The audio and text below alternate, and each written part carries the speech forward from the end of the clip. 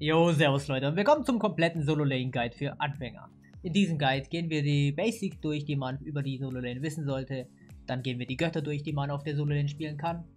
Das Laning-Phase, also wie es abläuft auf der Solo-Lane. Dann die Builds, also was für Items äh, man kauft, auf was man sich fokussieren sollte. Und am Ende gibt es noch extra Info zum Proxy-Farming und Rotation. Und vorab noch als Info, alle Begriffe, die ihr hier hört, könnt ihr in unserem Smite Lexicon Guide euch nochmal anhören, erklären lassen von uns, da es hier bestimmt Begriffe geben wird, die ihr nicht verstehen werdet.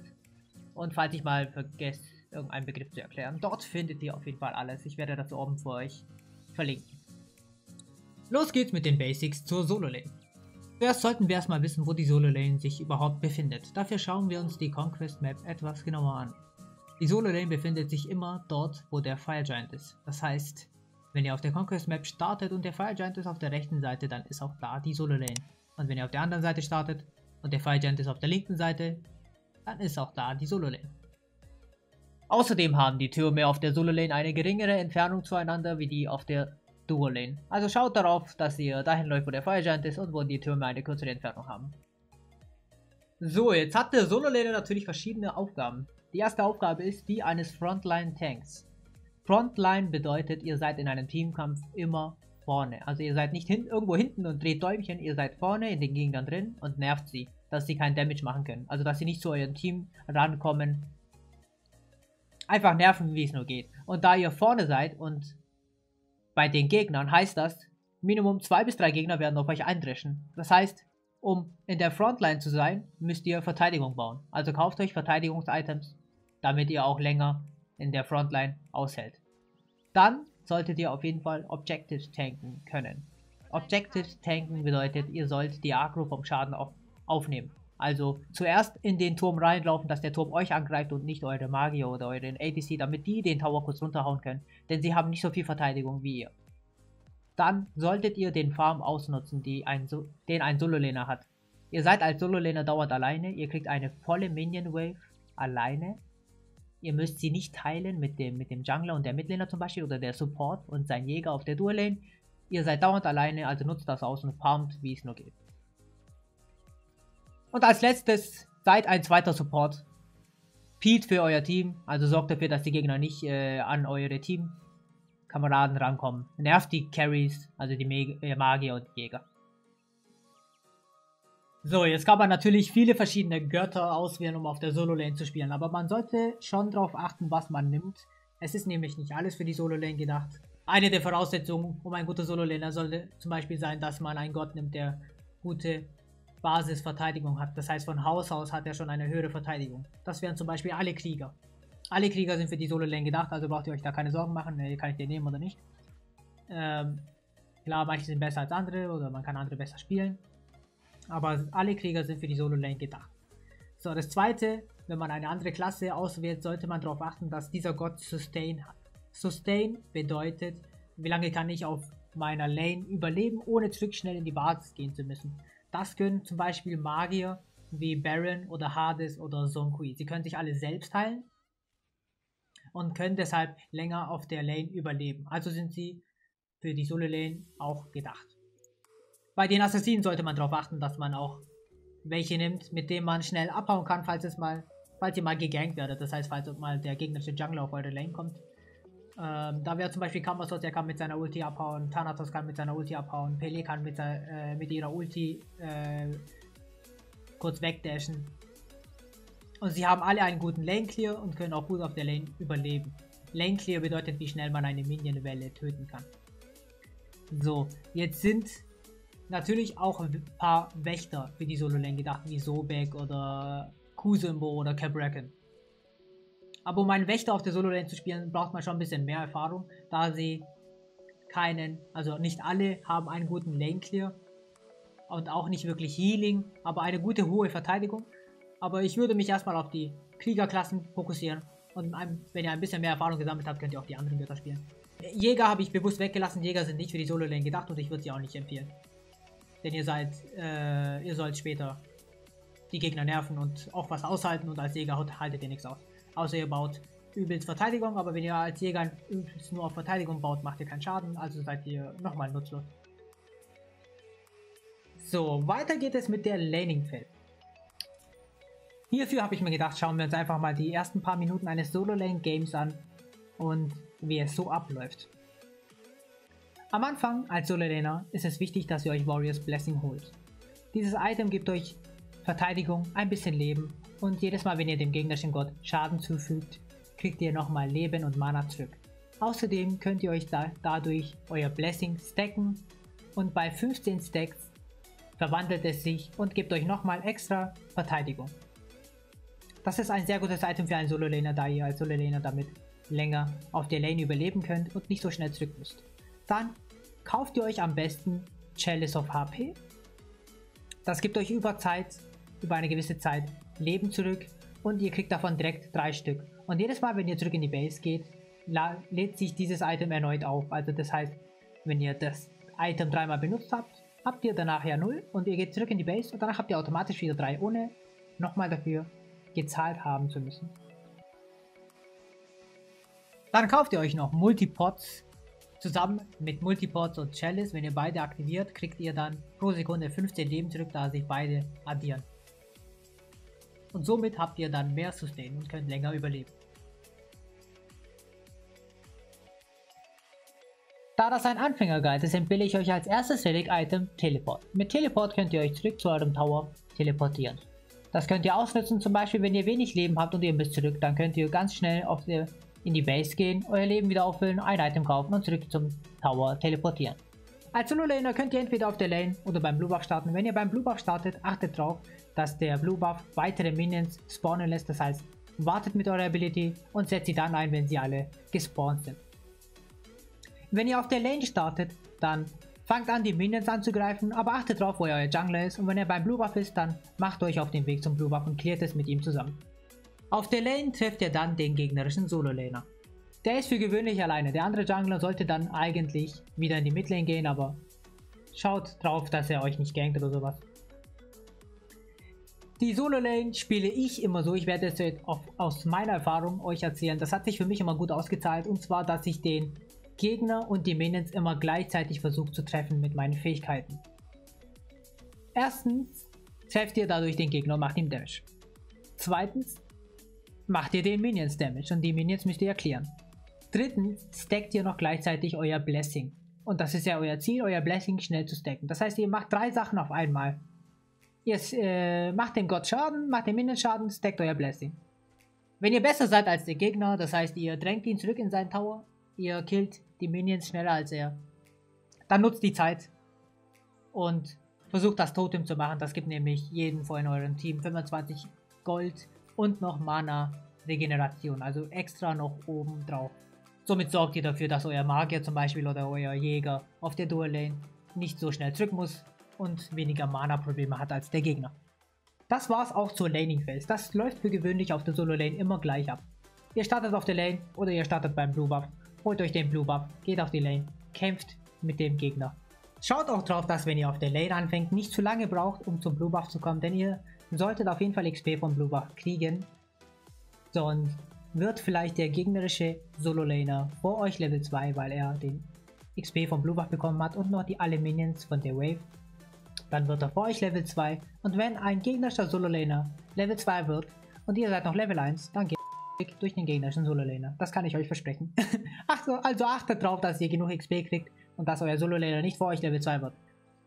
Aber achtet auch darauf, dass wenn er vor euch Level 2 wird, dann passt ganz kurz auf und geht nicht rein, denn er wird euch auf jeden Fall auseinandernehmen.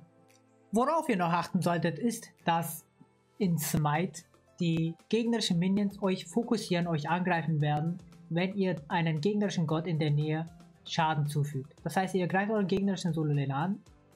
Was machen die Minions? Sie fokussieren euch und werden euch angreifen. Und Minion-Schaden ist am Anfang sehr hoch.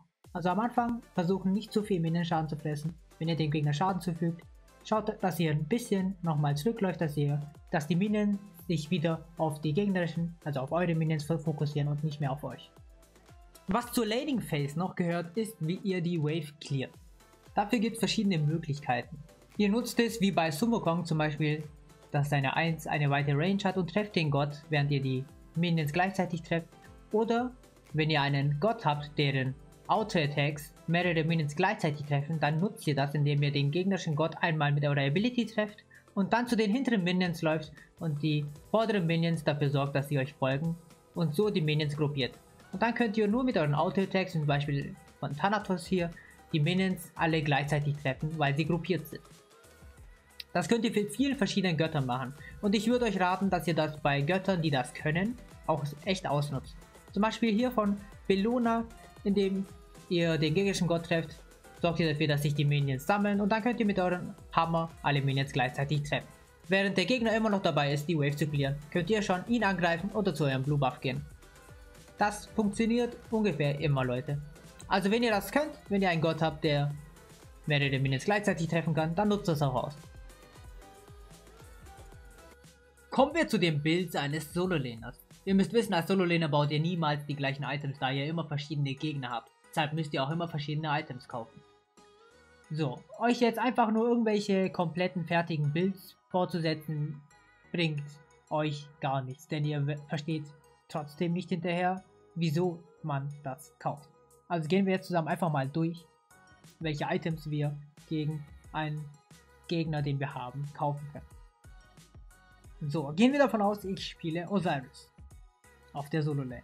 Jetzt habe ich ein gegnerisches Team mit einem Hades, der mein gegnerischer Solo-Laner ist, ein Thanatos, der der gegnerische Jungler ist, Anhur als gegnerischer ADC, Athena als Support und Ultra in der Midlane.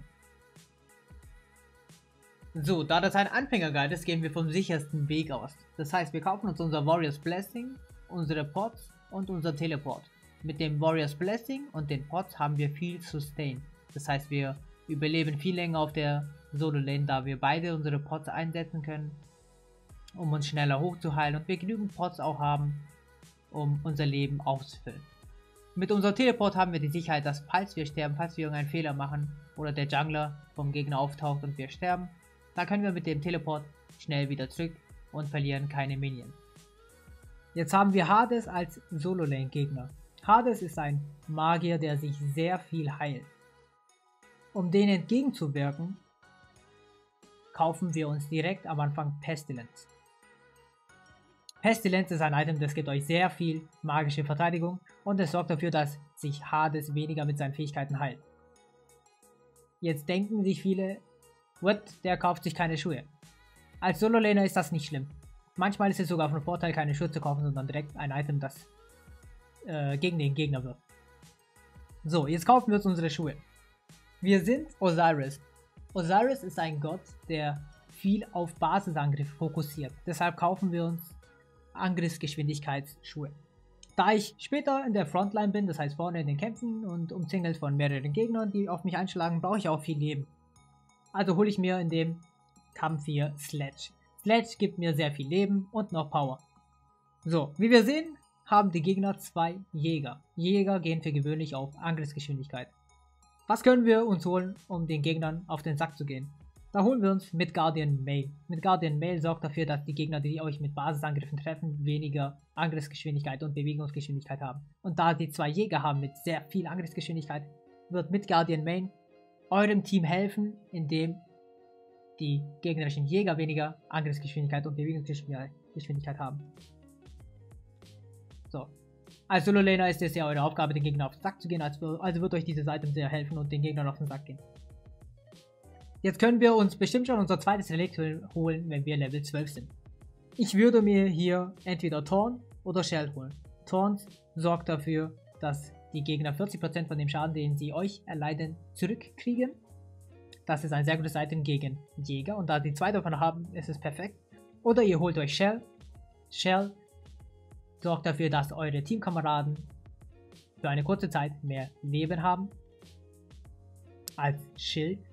Und wenn ihr Shell geupgradet habt, kriegen eure Teammates noch zwei Block-Stacks. Das heißt, wenn sie mit zwei Basisangriffen getroffen werden, machen die denen keinen Schaden. Und da sie, da die Gegner hier zwei Jäger als Götter haben, ist das auf jeden Fall auch sehr, ein sehr gutes Item für euer Team.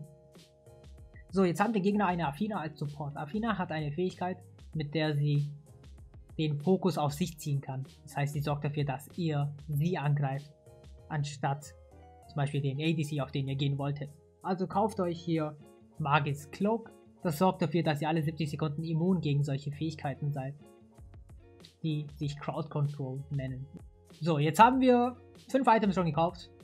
Es ist Zeit, Warriors Blessing zu verkaufen. Was kauft man sich hier? Das ist immer situationsbedingt. Bei dem Team hier würde ich jetzt zum Beispiel einfach mal Spirit Rope kaufen. Das gibt euch nochmal magische und physische Verteidigung. Und ihr seid weniger handlungsunfähiger. Das heißt, wenn, wenn ihr zwei Sekunden lang betäubt seid, sorgt Spirit Rope dafür, dass ihr nicht zwei Sekunden lang betäubt seid, sondern, keine Ahnung, 1,5 Sekunden zum Beispiel. Ihr seht, worauf ich hinaus will, Leute. Ihr müsst euch als Solo-Laner einfach mal immer die Frage stellen, hey, wer sind meine Gegner, was können sie? Und dann kauft gegen die Gegner. Und denkt dabei natürlich auch an euch, wenn ihr denkt, hey, ich brauche mehr physische Verteidigung, weil mich der gegnerische Jäger voll runterhaut, dann kauft euch physische Verteidigung. Klar, das braucht Erfahrung. Verstehe ich auf jeden Fall. Aber ihr solltet trotzdem verstehen, wie man vorgeht. Und wenn ihr das Spiel länger spielt, dann werdet ihr das irgendwann auch verstehen. Das ist jetzt natürlich immer noch situationsbedingt. Es kann ja sein, dass die gegnerischen Jäger hier einfach nichts treffen und schlecht sind, aber der gegnerische Hades übelst gut ist und euch runterhaut mit seiner magischen Power und euch Pestilence überhaupt nicht ausreicht. Dann holt euch halt nochmal mehr magischen Defense gegen den Hades. Oder gegen den Thanatos. Wer weiß. Fragt euch einfach im Laufe des Spiels, wenn ihr zum Beispiel gestorben seid, hey, wieso, wieso bin ich gestorben? Wer hat mir so viel äh, Leben weggehauen? Und dann kauft gegen ihn. Wer macht euch gerade Probleme bei den Gegnern? Kauft gegen die. Was brauche ich, um länger zu überleben? Stellt euch diese Fragen, dann werdet ihr schon auf eure Items kommen. Da das hier ja schon ein bisschen Erfahrung braucht, werde ich euch ein paar Beispielbuilds vorsetzen, die ihr benutzen könnt auf der Solo-Lane, damit ihr nicht komplett aufgeschmissen seid. Ihr müsst ja erstmal das Spiel lernen und die Items lernen und die Götter kennenlernen. Um, wenn ihr das Spiel dann später ein bisschen besser könnt, dann schaut auf jeden Fall trotzdem, dass ihr nicht die gleichen Items immer kauft und versucht es auf die Gegner zu fokussieren. Da hätten wir einmal Amaterasu, Guan Yu, Herkules, Osiris und zum Wukong. Wenn ihr euch die Builds genauer anschauen wollt, dann könnt ihr einfach das Video stoppen. Die Builds kann man auch auf andere Solo-Lane übertragen, vorausgesetzt es sind Krieger. Ich habe mich hier jetzt nur auf Krieger fokussiert. Und wie gesagt, später irgendwann, wenn ihr das Spiel besser könnt, schaut drauf, dass ihr nicht immer die gleichen Items kauft, sondern je nach Situation euch dem Gegner anpasst.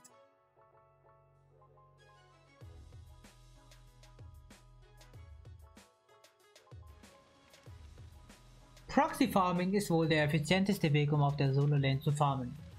Proxyen bedeutet, ihr cleart die gegnerische Minion Wave hinter dem Tower des gegnerischen Solo Laners, noch bevor die Minion Wave überhaupt sich in der Mitte eurer Lane mit der Wave von euch trifft. Wie läuft das ab? Und zwar Gehen wir mal davon aus, dass ihr den gegnerischen Solo-Laner gekillt habt oder er zurück in die Base musste, weil er zu low war. Oder er vom Level her so behind ist, dass er eh nichts machen kann. Dann läuft ihr, also dann klärt ihr die gegnerische Minion Wave, läuft durch den Tower durch und widmet euch schon dem nächsten Wave, der eigentlich gerade mit eurer Minion Wave zusammentreffen würde. In der Zeit, in der ihr das geklärt habt, habt ihr Zeit gewonnen.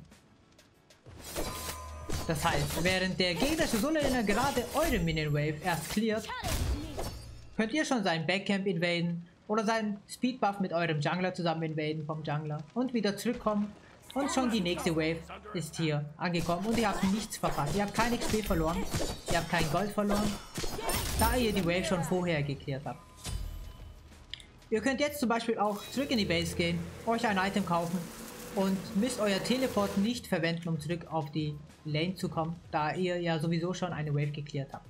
Bevor ihr eine Wave überhaupt proxied, sollte eine Bedingung erfüllt sein. Ihr solltet wissen, wo sich die Gegner aufhalten. Also schaut auf die Map, bevor ihr überhaupt proxied. Denn wenn der gegnerische Jungler euch gankt, und die Wahrscheinlichkeit ist sehr hoch, dass ihr gegankt werdet, da ihr euch zwischen zwei gegnerischen Towern befindet, und ihr werdet gegankt und stirbt dabei, dann ist das sehr schlecht für euch. Ihr werdet dann nämlich den Lead, den ihr vielleicht bis dahin aufgebaut habt, wieder verlieren, denn euer gegnerischer Solo-Laner wird dann farmen können, während ihr tot seid. Also passt darauf auf, wo der Jungler sich gerade befindet oder der Mid-Laner, bevor ihr das macht. Zu wissen, wann man als Solo-Laner rotiert, ist echt schwierig. Das braucht nämlich echt Erfahrung im Spiel. Ihr müsst nämlich abwägen können, ist es gerade wichtiger, die Midlane zu rotieren oder soll ich gerade lieber auf meiner Lane bleiben?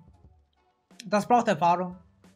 Ähm, nicht schlimm, ich werde hier euch trotzdem ein paar Beispiele nennen, wann man rotieren sollte, welche Voraussetzungen ihr erfüllen solltet, um zu rotieren.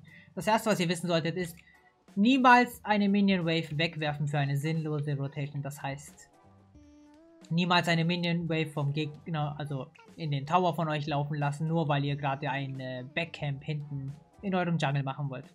Also immer zuerst versuchen, die gegnerische Minion Wave zu klären und dann erst rotieren. Denn ihr wisst, keiner kriegt so viel Farm wie ein Solo-Laner, also wirft euch nicht, wirft nicht die Minion Wave weg.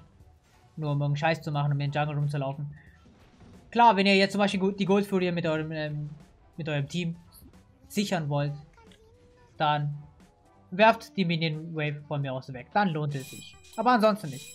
So, hier haben wir ein Beispiel von einer guten Rotation. Und zwar gibt es in der Mitte gerade einen Teamfight. Der Wukong und der Herc, der, die beiden kämpfen gerade. So, was macht der Wukong? Der Wukong cleart die Wave und direkt rotiert er in die Mitte. Es gibt hier nämlich auf der Solo Lane aktuell gar nichts. Der Herc ist noch damit beschäftigt, die Waves zu clearen. Das heißt, klar, du könntest jetzt versuchen, den Herc anzugreifen und so, aber es lohnt sich viel mehr, in der Mitte ein paar Leute zu killen und eurem Team zu helfen. Also was macht der Sun Wukong? Er rotiert in die Midlane, blinkt rein, überrascht die Gegner.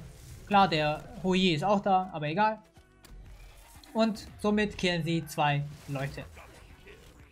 Das war ein Beispiel von einer sehr guten Rotation. Der Herc ist jetzt zwar da, aber viel zu spät. Rotations müssen nicht immer unbedingt für einen Teamkampf sein. Ihr könnt auch einfach rotieren, um den gegnerischen Jungle zu invaden. Schauen wir uns hierfür ein Beispiel von zum Wukong an, was er hier so macht. Er ist auf der Lane, wartet auf die Minions, er klärt die Minions, easy. Seine Wave ist noch komplett da, während Herc das Totem macht. Fataler Fehler, Leute. Kein Totem machen, während da eine Minion Wave ist. Nichts ist wichtiger als die Minion Wave. Haben wir gelernt. So, während die Wave in den gegnerischen Tower läuft, läuft der Sun Wukong in den gegnerischen Jungle und invadet das Backcamp und klaut dem Jungler seine Erfahrung und Gold. So, währenddessen läuft er hier so rum, schaut, was es so gibt. Gibt aktuell nicht viel. Also läuft er zurück in die Lane, während der Herc wieder backt. Und er hat keinen Farm verpasst. Die nächste Wave ist da. Die 30 Sekunden hat er sehr gut ausgenutzt. Cleart die nächste Wave und geht wieder in den Jungle und schaut, was es so gibt. Ihr seht schon, Leute, rotieren ist gar nicht so schwierig. Geht einfach immer auf Nummer sicher, dass ihr keinen Farm verpasst. Cleart die Wave, lauft in den Jungle, schaut einfach mal, was abgeht. Ihr seht ja auf der Map, wo euer Team ist. Und wenn sie gerade dabei sind, irgendwas zu invaden. Lauft zu ihnen zur Sicherheit. Kann ja sein, dass die Gegner kommen. Seid da. Und dann lauft wieder zurück in die Lane. Damit ihr nichts verpasst. Außer ihr wollt gerade noch eine Gold Fury machen. Und ansonsten ist es immer das gleiche. Später irgendwann werdet ihr, wenn ihr ein bisschen mehr Erfahrung habt, abwiegen können, was wichtiger ist gerade. Aber für den Anfang fokussiert darauf, dass ihr keine Wave verpasst. Dann lauft in den Jungle und schaut einfach mal, ob irgendjemand Hilfe braucht, ob ihr gerade Gold Fury machen wollt. Dann lauft dahin, teleportiert dann danach zu eurer Lane. Jo, das war's mit dem Solo-Lane-Guide, Leute. Ich hoffe, es hat euch gefallen und es hat euch weitergebracht und offene Fragen beantwortet. Falls das Video euch gefallen hat, dann schreibt es in die Kommentare. Falls ihr noch Fragen habt, schreibt es in die Kommentare. Wenn ihr wollt, joint unserem Discord, Link in der Beschreibung. Wir helfen euch auch gern weiter bei anderen Fragen. Und ich erkläre euch auch alles gerne nochmal. Haut rein!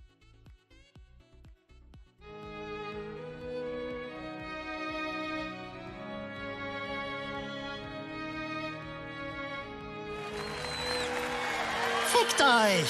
Fickt euch! Fickt euch von Herzen! Fickt euch!